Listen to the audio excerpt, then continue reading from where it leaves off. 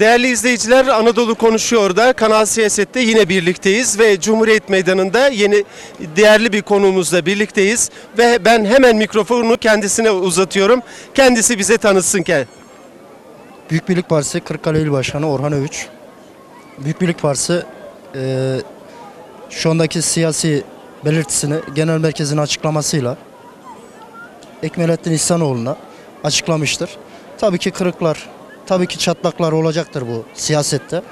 Eee, biz istedik ki artık eee, siyasetin yönünün değişmesi gerektiğine inanıyoruz.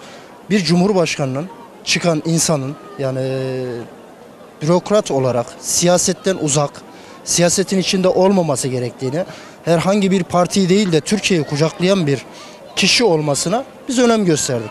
Tabii ki buna Tayyip Bey'in yaptıkları çok eee, şey verdi, eee, bizi ters tepti. Tayyip Bey bugüne kadar 2007'den beri hep eee, Müslüman devletlerini tanımama kararı aldı. Bugün eee, Türkmen eee, cephesinde bir savaş var.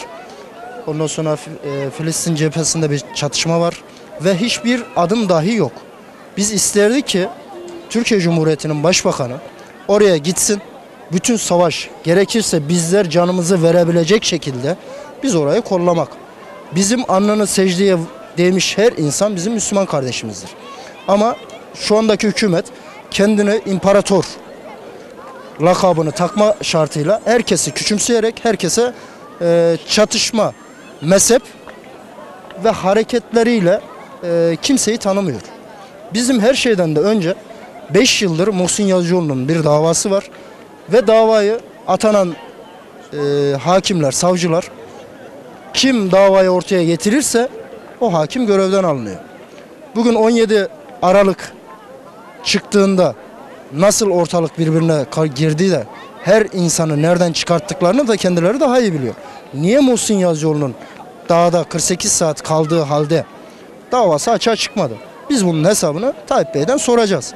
Tayyip Bey'e de, Tayyip Bey'e de onun için destek vermiyoruz. Biz AK Parti'yi tanımıyoruz artık. Bu bir gerçektir. Sayın Başkanım partinin aldığı bu kararla birlikte e, birçok partinin şu ana kadar da 9 partinin bir araya gelmesi Türkiye açısından birlik beraberlik anlamında önemli değil mi? Tabii ki birlik beraberlik önemli. Yani dediğimiz gibi e, bir kişi seçilecekse bu 76 milyonu kucaklaması gerekiyor. Bürokrat olması gerekiyor. Siyasi kimliği olmaması gerekiyor. Bugün Tayyip Bey çıksa bile hemen arkasından başkanlık sistemini getirecek. Kendi altındaki milletvekillerini tanımıyor. Milletvekilleri hiçbir şey söyleyemiyor. Kendini savunamıyor. Ülkesini savunamıyor. Ve bu imparatorluktur. Yani e, ne derler buna? sistemi iyi kurmuş. Demokrasiden uzak e, bir davranış dolayısıyla diyorsunuz. Hakimler görevini yapamıyor, savcılar görevini yapamıyor. Ee, bugün genel müdürler bile görevini yapamıyor. Sayın Başkanım Cumhurbaşkanlığı seçimi dışında Kırıkkale'deyiz, Cumhuriyet Meydanı'ndayız. Ee, Kırıkkale'de siyaset ediyorsunuz. Ee, Bir başbakan yardımcısı, e, üç milletvekilinden bir tanesi. Bu anlamda e, Kırıkkale'deki genel e, vatandaşın durumu, siyasetin durumu ile ilgili de kısaca bir bilgi verir misiniz efendim? Ben şunu söylemek isterim. Sayın Beşir Atalay, Sayın Bakanımız Kırıkkale'nin yüz karasıdır. Bunu açık ve net söylüyorum. Bugün kıytırık denildi ve Kırıkkale'ye geliyor. Bugün Abdullah Öcalan gibi bir it sürüsü istesek de istemesek de Kürtlerin lideri demesi bir utanç duvarıdır. Bunu hiçbir bir- yani ben kendime yakıştıramıyorum. Kırıkkaleli olarak yakıştıramıyorum. Bunu dememesi gerekiyor. Kürtler bizim istesek de istemesek de kim ne yaparsa yapsın PKK da ele alsın bizim Kürt kardeşimizdir. Burada mezhep çatışmasını oluşturma. Bir dört tane kusura bakmasın itin sözüyle biz Kürt kardeşlerimizi dışlamış değiliz. Dışlayamayız. Kürtler bizim kardeşimizdir. Bunu PKK lideri, Kürtlerin lideri demek çok ayıptır. Yani Kürt sorunu yok, PKK sorunu var PKK diyorsunuz. sorunu var. PKK'yı da sadece bu anlaşmalarla değil silahla çözülecekse biz bedenimizi Büyük Birlik Partisi olarak her zaman vermeye hazırız. Silahtan önce bu Cumhurbaşkanlığı süreci belki de e, partilerin yakınlaşması, vatandaşın e, birleşmesi anlamında da bir dönemeç olacak diye e, gözlemliyoruz. Bu anlamda Kırıkkale'deki genel siyasi tablo nasıl? Vatandaşın sıkıntıları biraz da kısaca bundan bahseder misiniz lütfen? Kırıkkale'de e, vatandaşlar hiç dinlenmiyor. Ben e, şu anda Mehmet Saygılı'ya te- e, teşekkür ediyorum. Halkın içinden çıkmıyor.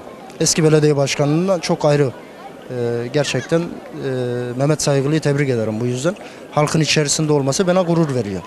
Hani bizim seçti, hani milletin seçtiği insanlar milletin içerisinde olması gerekiyor.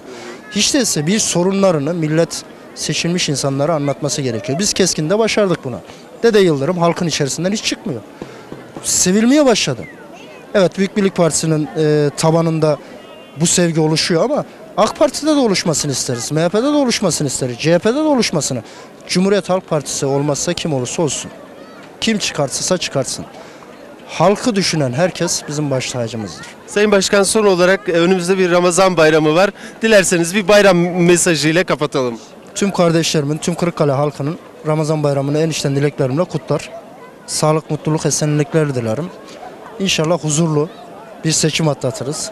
Ee, her ikisine de başarılar diliyorum. Bu Kırıkkale halkının da bayramını kutluyorum en içten dileklerimle. Teşekkür Çok ederim. teşekkür ederiz efendim. Sağ olun. Sağ olun.